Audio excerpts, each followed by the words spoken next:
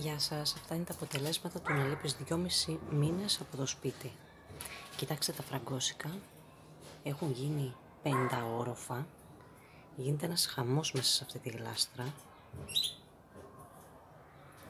Λοιπόν, είναι καιρός να κάνουμε μεταφύτευση φύλων φραγκοσικιάς. Ε, όπως παρατηρείτε, ανάμεσα στο πρώτο και στο δεύτερο φύλλο, ο κορμός έχει δέσει, έχει γίνει πιο σφιχτός, ε, προφανώς για να μπορεί να στηρίξει και τα υπόλοιπα φύλλα, που είναι η καινούργια παρτίδα, η καινούργια φουρνιά. Αυτά είναι τα ήμερα φραγκόσικα. Αυτά είναι τα άγρια φραγκόσικα. Αυτό το είχαμε κόψει είναι σε σχήμα καρδιάς, το είχαμε κόψει από την εθόνη και έχει γίνει ήδη τριόροφο. Λοιπόν, και αυτά θα κοπούν.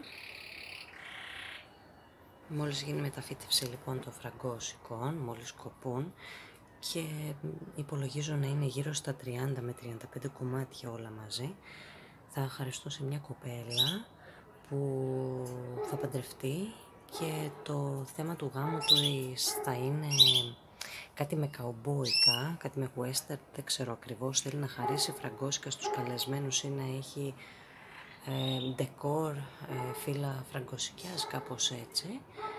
Και θα τις τα παραδώσω λοιπόν για να τα χαρεί.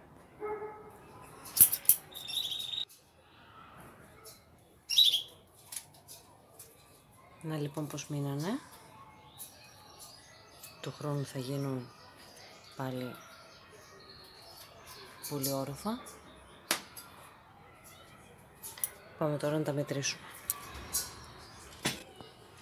Είναι 45 συν 3 που κράτησα για ένα φίλο μου που μου τα ζήτησε 48. Μια προσοχή με τα αγκάθια γιατί κοιτάξτε εδώ κάθε φορά τρυπιέμαι αλλά μυαλό δεν βάζω